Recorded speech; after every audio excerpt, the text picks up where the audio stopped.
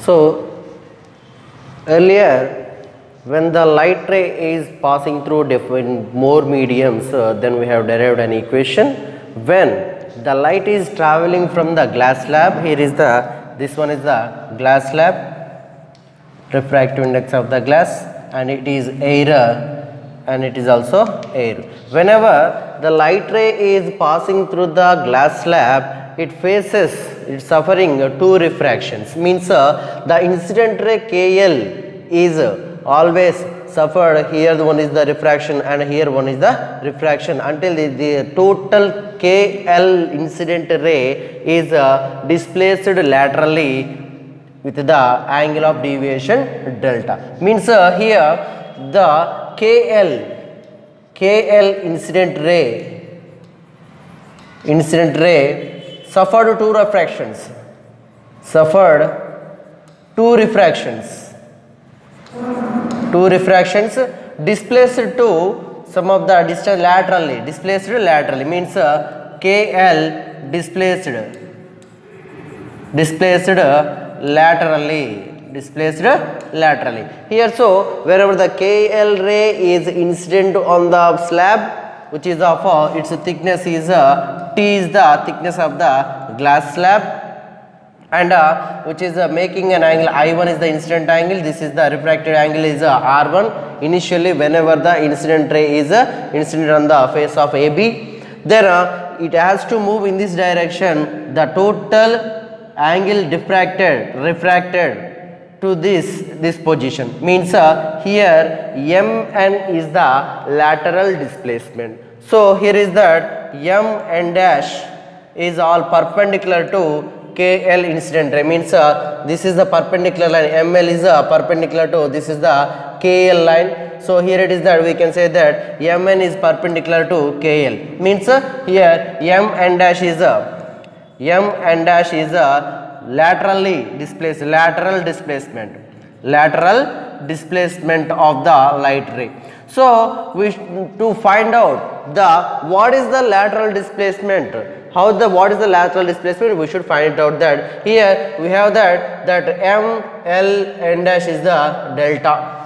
Angle m n m l n dash is equal to delta be the angle. Here three three we we have similar triangles. Is there and here is also one of the triangle is uh, for that l l dash m is there and uh, l m n dash is there. Two reflections total two different triangles is there. So that's why first of all we should write that triangle from triangle. M l n dash. M l n dash. From the triangle of m l n dash the angle be the delta. So here is that from triangle m l n dash sine delta is equal to sine delta is equal to we know that sine theta means uh, opposite by hypotenuse. So opposite is the m n dash by hypotenuse be the l m. L m. So here it is that m n dash is equal to l m sine delta. Lm sine delta. This is considered as equation number 1 if in case of the triangle the triangle l l dash m l l dash m. In that case the r1 is the angle.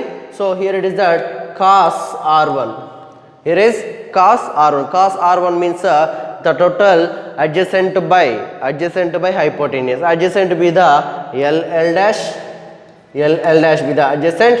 Hypotenuse be the l m hypotenuse is l m from that l l dash is equal to l l dash is equal to l m cos r1 l m cos r1 but we know that l l m is equal to l l dash is equal to thickness of the glass slab.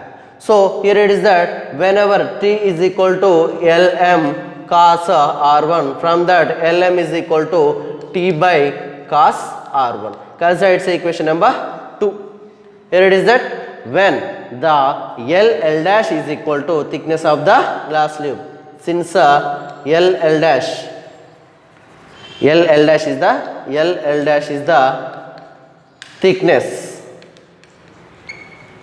Thickness of a glass slab thickness of a glass slab. So here it is that L L dash is the thickness of glass slab. So that's why L L dash is equal to T. Here we are writing that. We are substituting these two equation in the one. Then because of m n dash be the m n dash be the lateral displacement so we are writing that m n dash is equal to lm is equal to we know the value t by cos r1 into sine delta. But the angle of deviation delta we know that. The angle of deviation this is i1 and this is also i1 belongs to i1 if we want to know the delta i1 minus r1 means uh, here delta is equal to i1 minus r1 so from that equation then we can get m n dash is equal to t into sine of i1 minus r1 by cos r1 this is the equation for this is the equation for m n dash means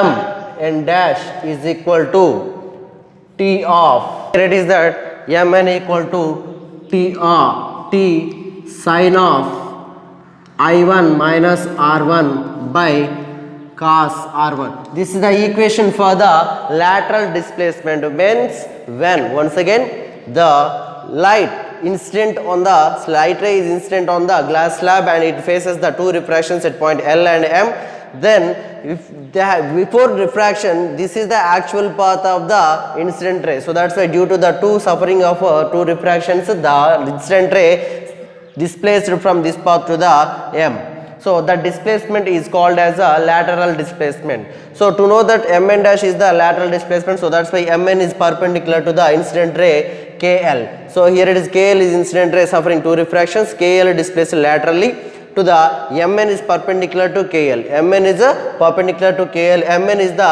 lateral displacement. Because of light is displaced from this point to the this point. That is lateral displacement from mln means uh, m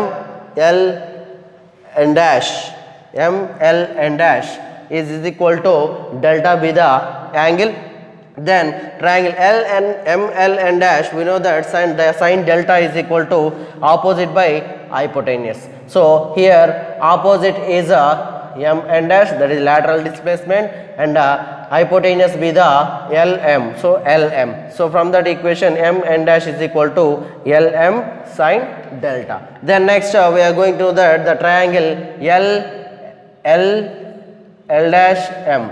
This is the triangle we are going to know next. Uh, then from the L L dash M uh, cos R1 is equal to R1 be the angle. So here it is that R1 is equal to adjacent by hypotenuse. Adjacent is the L L dash and hypotenuse be the LM. So we are substituting that equation then L L dash is equal to LM cos R1. But we know that L L dash is equal to L L dash is equal to T means uh, here this is the thickness of the glass slab. Here L L dash this is the thickness of the glass slab. So here it is the thickness of the glass slab we are substituting then we can get that LM is equal to T by cos R1. So whenever we substituting 2 in equation 1 equa substituting substituting equation 2 in a equation 1 equation 1 then we can get that m n dash is equal to lm we know the value t by cos r1 so we are substituting t by cos r1 into sine delta. From that equation also we know that delta is equal to from the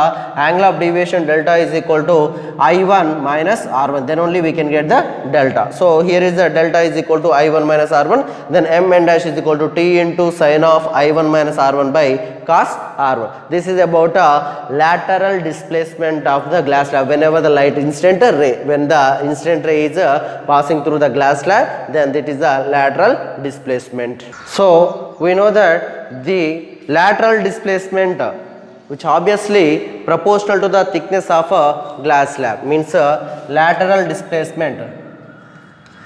Lateral displacement obviously is uh, proportional to proportional to displace uh, lateral displacement is proportional to thickness of thickness of a glass slab glass slab means uh, when the thickness of the glass slab is increases the thickness of a glass slab is increases then here is also lateral displacement is also the lateral displacement will increase by the increasing the angle of incidence. Means uh, if the angle of incidence increases then uh, the distance from the refracted ray to the distance of the lateral displacement point will be also increases. So that's why here it is that the lateral displacement lateral displacement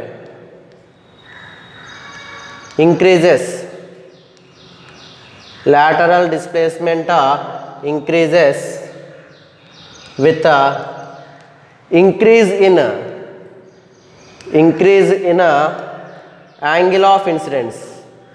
Angle of incidence. Angle of incidence uh, I1 so here it is that if the angle of incidence is increases then the the length distance also increases by increasing the this light rate. So that's why m and is also distances it depends on the angle of incidence. So here it is that the lateral displacement is also depends on that the always proportional to the thickness of the glass. Here it is that m is t if the t is increases then the here displacement of lateral displacement is also increases. Also whenever the angle of incidence is also increases then uh, the lateral displacement is also increases. So it depends on that the thickness of a glass plate lateral displacement depends on the thickness of a glass plate and uh, angle of incidence also. This is about uh, the lateral displacement when the incident ray is passing through a glass slab or any another medium how to find out the lateral displacement. Means uh, by by suffering with two refractions the lateral displacement this is the actual path of the light ray and uh, this- due to the refraction the light ray is passed incident is this point. So that's why this is the lateral displacement